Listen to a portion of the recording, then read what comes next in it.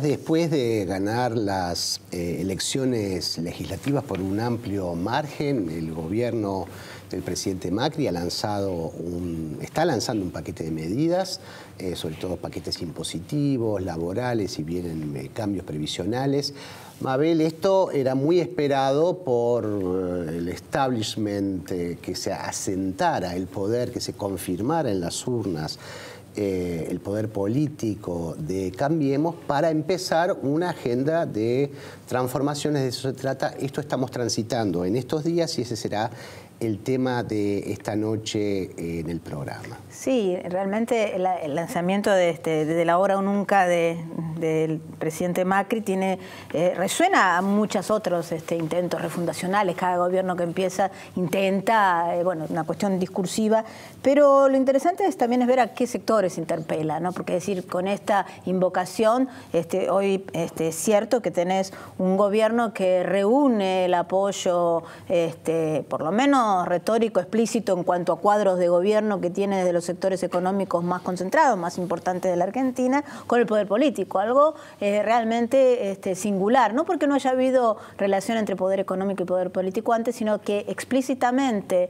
eh, de una manera tan, tan este, eh, rotunda como ahora, no lo, no lo habíamos visto en los años por lo menos recientes, ni siquiera con, con el gobierno de Carlos Menes, que provenía de una fuerza como el peronismo y tuvo que hacer toda una reconversión y además aupado en lo que era el ciclo neoliberal en el mundo. Tenía un este, proyecto llave en mano que había que aplicar y decir el tren de la historia va para allá, ven que todo el mundo va. Ahora el tren de la historia no parece tan clarito para dónde va, la tensión este, internacional es fuerte, el gobierno de Trump no parece ser el amigo del libre comercio tan explícito como lo era en los años este, de los 90 e incluso de los 2000 en Estados Unidos. Entonces hay un montón de cuestiones que son distintas. Sin embargo, este gobierno encuentra en esta coyuntura histórica eh, este sector económico y social una posibilidad de interpelar políticamente, ganar una minoría intensa que se convierte en mayoría en la medida en que el resto está disgregado y aparece esta posibilidad y ver a dónde va. Bueno, y para ayudarnos a pensar qué, puede pasar, está hoy con nosotros Pablo Semán, antropólogo y sociólogo y un pensador de los temas de coyuntura. Así que Pablo, gracias por venir esta noche a Asuntos Públicos. Y la primera pregunta era, ¿vos esperabas este, mm, esta blitzkrieg, digamos, llamémosla así, este, este esta ofensiva del, oficialismo en todos los frentes que parece estar desplegándose o te sorprendió algo? No, yo la verdad es que por lo que venía escribiendo lo, esperaba en el sentido de que yo vengo viendo que desde el inicio del proceso eh, en que Macri accede a la presidencia se va produciendo un doble juego que es, por un lado, eh, caen los supuestos que guiaban la acción de la actual oposición en cuanto a cómo se desarrollaría el panorama político y en cuanto a que eh, cierto desgaste económico llevaría al gobierno a la impopularidad y eso crearía las condiciones para un retorno electoral de los opositores en cualquiera de sus versiones.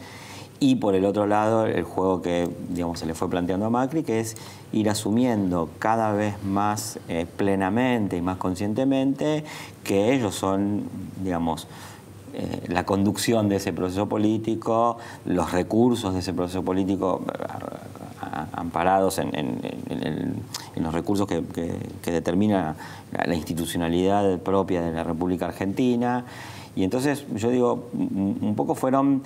Eh, los, los, actuales opositores desvencijando el piso del que hablaban como tan firme por un lado, saltando sobre una rama débil, y por el otro lado ellos fueron mm, eh, perforando un supuesto techo y encontrándose con horizontes de acción, digamos, cada vez más eh, amplios para ellos. Entonces, un proceso de estos dos años, yo diría, de, toma del poder progresiva, eh, que en la elección, digamos, se condensó, diría yo, y entonces el discurso de Macri de esta semana tiene que ver para mí con digamos algo así, un, movimiento de eh, aceleración en la toma del poder. ¿no?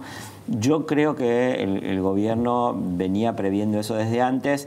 Eh, el resultado electoral hubiera influido, pero relativamente, como un indicador más en, el sistema de orientación del gobierno en cuanto a, qué grado de gradualismo deberían eh, aplicarle a su gradualismo permanente. Sí, y el gradualismo me parecería ser como el, método, el sistema de la primera, estos primeros dos años de gobierno, esto de que se planteaba siempre ensayo error, me, me equivoco y vuelvo para atrás, incluso como una virtud de gobierno, decir, bueno, yo tengo la humildad de si me equivoco, este, esto no les gusta, vuelvo para atrás, pero las intenciones siempre eran en un sentido, no, no, uno no podía errar hacia donde eran los, errores, ¿no? Ahora sienten la legitimidad de poder decirlo. me parece una intención de repactar el conjunto de las relaciones sociales y las relaciones institucionales que median esas relaciones sociales a favor del mercado, de lo que representa el mercado en Argentina, son grupos concentrados de la economía y en ese sentido, digamos, esa tentativa ellos mismos saben que choca con su sostenibilidad electoral, entonces el ensayo y el error más bien, digamos, son como un método de orientación como el que tienen los murciélagos, a ver cómo rebota contra las paredes la onda que uno tira y eh, ahí se producen esos errores y esas correcciones, que es tratar de medir hasta dónde se eh, sigue siendo electoralmente sostenible esa dinámica de ajuste. ¿no? Eh, me parece que es más o menos ese el, mecanismo. Eh, también yo creo que ellos miden la, sostenibilidad del proceso económico, no solamente en cuanto a, cómo afecta a, a la población y en consecuencia al electorado, sino también en cómo afecta cierta dinámica de la inversión, la acumulación y digamos, yo creo que están intentando tener cierto cuidado con ciertos niveles de actividad, más allá de que, eh, digamos, yo no sé si las medidas que ellos toman eh, eh, van a tener efectos negativos o positivos sobre el nivel de actividad y si ellos saben qué efectos van a tener sobre el nivel de actividad. Ahora, Pablo, el triunfo del Frente Cambiemos se produce después de un año y medio de una fuerte recesión. O sea, eso es lo curioso, que mm. no pareció haber allí una correlación, por lo menos inmediata, mm entre el nivel de actividad, los salarios, las jubilaciones el aumento de tarifas, el aumento de tarifas, ¿no? Entonces sí, a ver, eso sería un ejercicio para, para, para el futuro, ver este eh, correlacionar el ciclo político y económico y ver qué, qué, coincidencias y qué retrasos tiene. Yo, sería el último en el planeta mm. en decir que eh, la, actividad económica determina el rumbo electoral del gobierno, pero me parece que en el, futuro eh, hacia el gobierno se va a ser más exigente desde el punto de vista de la economía.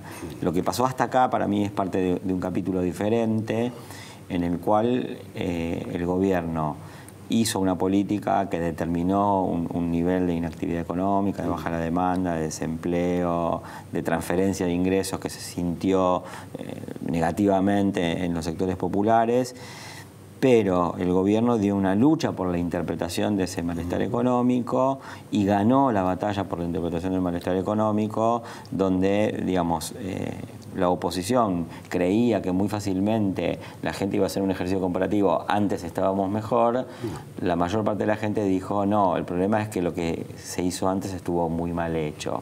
Y eso esa, a sufrirlo en el bolsillo. Sí, y esa batalla el gobierno la ganó yo diría también eh, la ganó, como muchos otros analistas nos han dicho, porque la oposición hizo el juego que hizo, ¿no? Eh, esos resultados tienen varios actores al mismo tiempo, entonces yo creo que el gobierno eh, hizo todo lo posible por tener que enfrentar a Cristina Fernández de Kirchner en la posición en la que puso, se puso Cristina Fernández de Kirchner, y todo eso, digamos, aceleró el destino de esa batalla en el sentido en que se resolvió, que es una interpretación contraria al gobierno anterior. Más, yo diría, en, esa misma batalla incidieron eh, toda la serie de movilizaciones que hubo en marzo y que terminaron finalmente en una movilización a favor del gobierno, que no fue tan masiva como las otras, pero fue importante.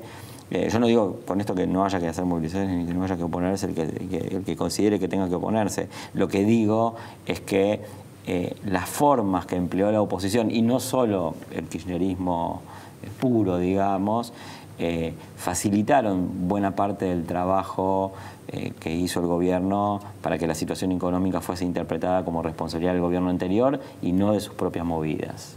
Claro, y esto tiene que ver también con, eh, hay, dos temas que, vamos a desarrollar en, el próximo bloque, que uno tiene que ver con eh, la interpelación que hace Macri, que también le hace al propio poder económico, a los propios actores económicos, que les dice ahora nunca muchachos, si no ponen plata ahora y logramos un arranque, vamos al muere, miren que ahora ya qué más quieren, estábamos nosotros, ellos creyeron que iba a ser inmediato, creo que creían que iba a ser inmediata la euforia y no lo fue. Ahora, bueno, están generando condiciones, este, eso por un lado. Y por el otro lado, eh, en qué valores existentes en la sociedad, que se creían tapados, ocultos o no visibles, que hoy, que hoy aparecen y con mucha virulencia, se basa este, esta, esta eh, primacía del discurso de Cambiemos Hoy. Vos trabajaste mucho sobre el tema de meritocracia, ¿qué supone y en qué sectores ancla también las ideas meritocráticas? Y no solo en los sectores dominantes. Eso lo, vemos. Eso lo, vemos en el, en el bloque que viene, eh, ya volvemos.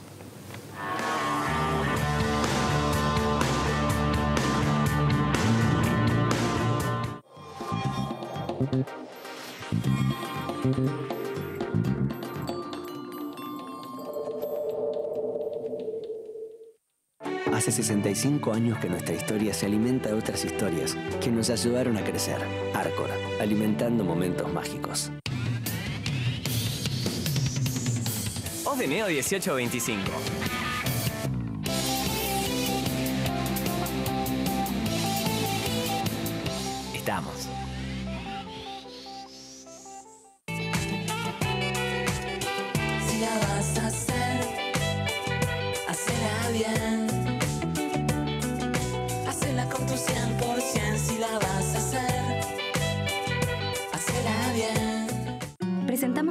Antitranspirantes comprimidos, que duran lo mismo que los grandes. La nueva tecnología comprimida de Rexona y DAB reduce el tamaño del envase ofreciendo la misma protección que los grandes. Úsalo como siempre y te aseguramos la misma cantidad de aplicaciones en un envase más chico. Nuevos antitranspirantes comprimidos. Lo mismo para vos, mejor para el planeta.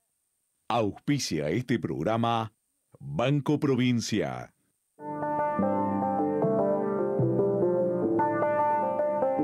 El fruto de nuestro trabajo es parte de tu mesa. Por eso queremos que nos conozcas. En Monsanto ayudamos al campo a producir más alimentos cuidando los recursos naturales. Entra a descubrir Monsanto y sé parte de la conversación. Un banco presente junto a todos los argentinos. Banco Nación.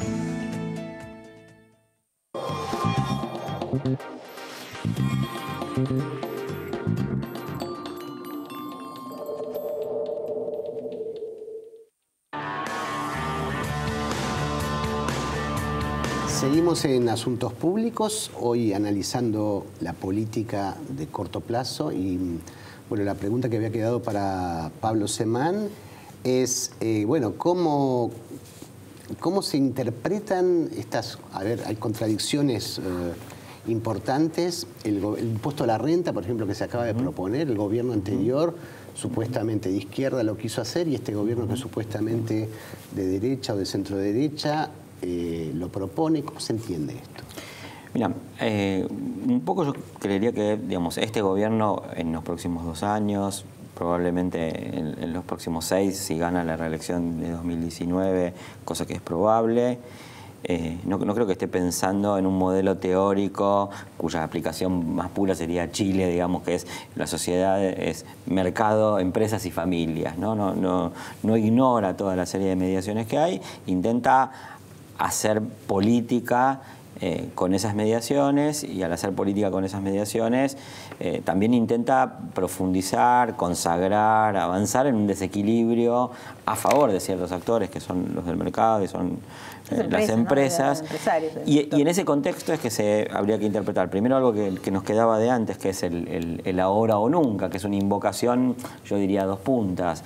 Una a los empresarios para que inviertan, que es, que es un grupo al que Macri conoce muy bien y sabe sus conductas y, él cree poder estimularlos, dirigirlos, conducirlos hacia un proceso de, mayores inversiones. Yo, no sé qué probabilidades tiene, pero en todo caso es lo que me parece que es, es la apuesta para que el producto crezca para que el déficit se diluya, para que el ritmo de endeudamiento no sea mayor, que son cosas que tienen que empezar a resolverse ahora para que no estallen en dos o tres años, que es el tiempo que los economistas cercanos al gobierno estiman que eh, podría ser ese estallido. Y por otro lado, el ahora nunca es una invocación también al resto de la sociedad que viene de un largo periodo de incubar eh, una ideología pro mercado y a la que ahora hay que, digamos, convencerla de atravesar el desierto y de llegar a, la tierra prometida, de los incrementos de productividad, de generación de trabajo privado, etcétera. Eh, en ese contexto, digamos, de esa invocación, eh, estas políticas que, digamos, son algo así como, eh, irónicamente lo voy a decir, heterodoxias de derecha, digamos, porque están más vinculadas a economistas liberales, pero no a la idea de aplicar un modelito en estado puro de oferta y demanda, sino de introducir otras variantes que en parte tienen un sentido económico, creo yo, y también tienen un sentido político, porque yo creo que el, gobierno está apostando políticamente una cosa que me parece que es nueva, es nueva en este momento, que es, eh, ya no es solo a polarizar con el kirchnerismo, sino a, eh, desconcentrar la, interpelación política y abarcar varios sectores. Entonces yo no sé si lo del impuesto a la renta financiera tiene solamente un sentido económico, sino también tiene un sentido de acumulación política de decir nosotros no somos la derecha, mm. eh, digamos, y están pagando con costos económicos o con costos en su alianza hegemónica hacia, hacia las empresas. Eh, una inversión que fundamentalmente o, que también tiene carácter político, me parece, ¿no? Habría que empezar a, ver esa vertiente. Porque también, y esto también responde a lo que mm, me preguntaban antes, es, yo creo que, el gobierno intenta eh, avanzar más allá de su 42%, eh, dialogando con un estado de la sociedad que se viene generando hace unos cuantos años. Esto no empezó en 2015. Yo creo que eh, había un consenso contra los grupos concentrados de la economía, a favor de la intervención del Estado, que en 2008, a partir de la batalla de la 125, comienza a diluirse.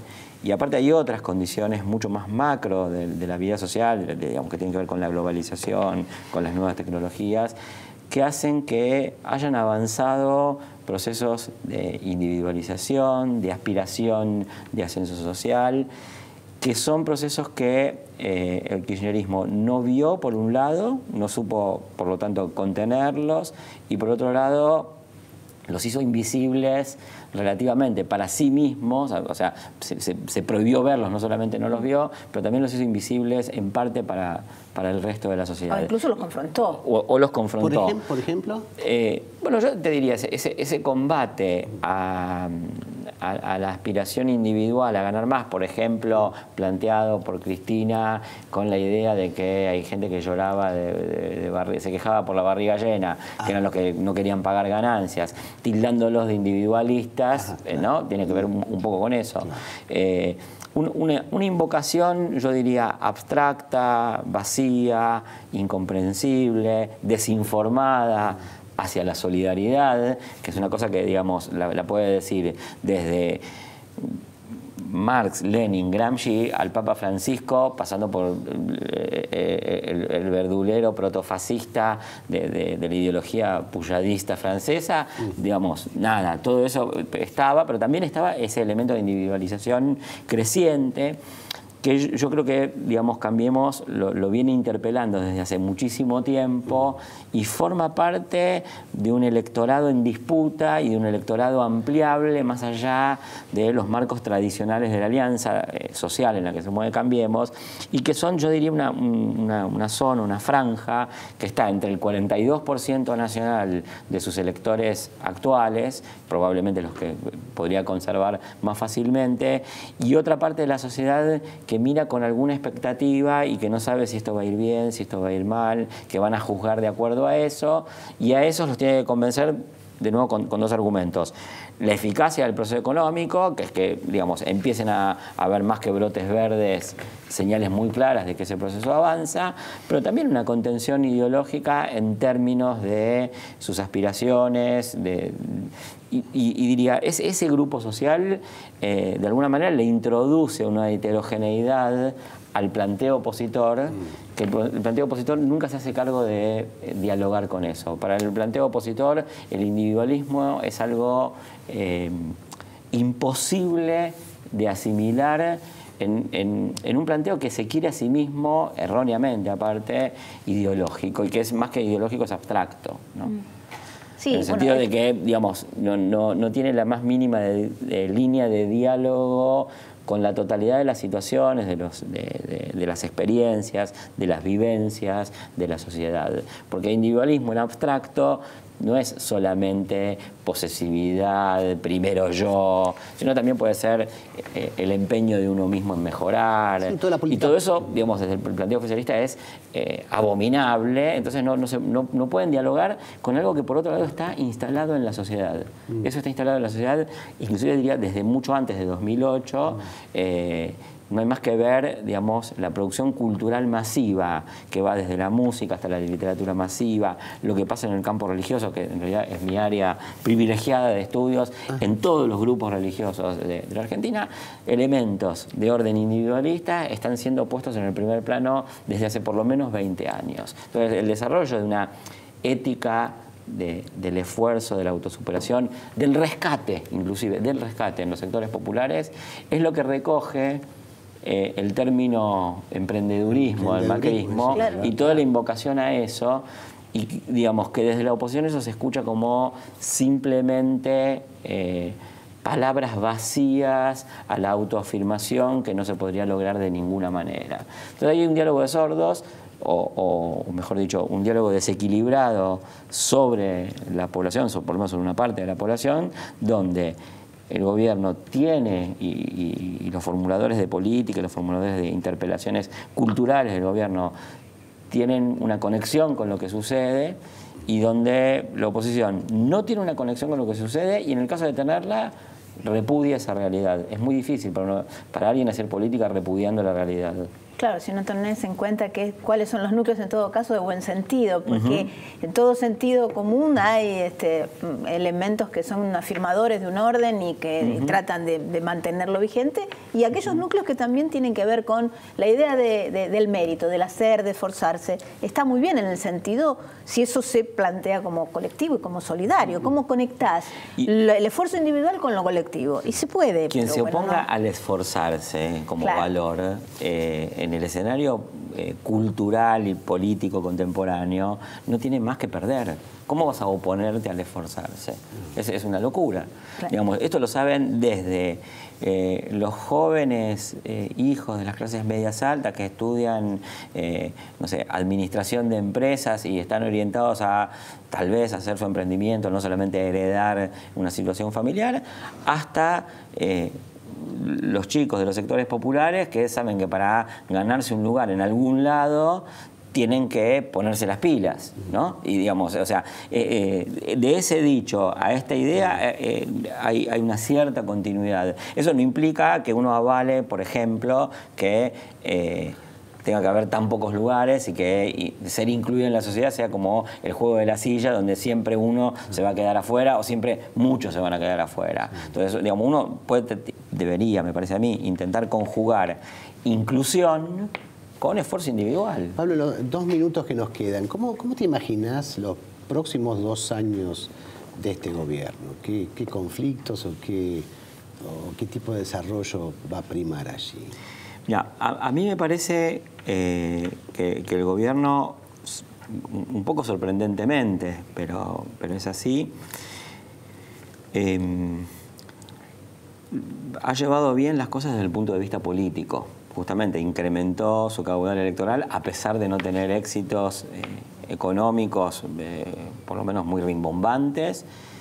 Y me parece que esto que yo te estaba comentando antes, que es me parece que esa, interpelación a sectores heterogéneos del electorado a partir de medidas que no son exclusivamente eh, el plancito neoliberal, también tienden a- a ampliar su, electorado y a consolidar digamos, el proceso de formación de una tradición política prevalente. Eso es de un lado. Del otro lado, eh, yo realmente no, no sé cómo va a ir la economía, solo puedo escuchar a algunos economistas que dicen que sea que esto vaya directamente a una crisis de sobreendeudamiento o no, los próximos dos años pueden ser más o menos sostenibles, eh, todos difieren en, en grados del crecimiento, pero nadie está pensando en una recesión, con lo cual yo pienso, conjugando esos dos datos, que los próximos dos años van a eh, ser de incremento del poder político del gobierno. Y por el otro lado, me parece que en, en la oposición hay, digamos, es, como dijo Mario Weinfeld, es un, un archipiélago de, de- de islas que, que no se comunican. A mí me parece que hay una, una- una cuestión muy importante que es, y esto lo dice Martín Rodríguez, que es eh, el, el peronismo tiene una relación muy complicada con la política cuando los votos no le dan. Porque a diferencia de- del republicanismo, que cuando los votos no le dan denuncia fraude, eh, el peronismo, todos los peronistas de todos los colores se sienten mal cuando los votos no les dan. Y un poco yo creo que los peronistas se sienten en capilla porque no tienen los votos.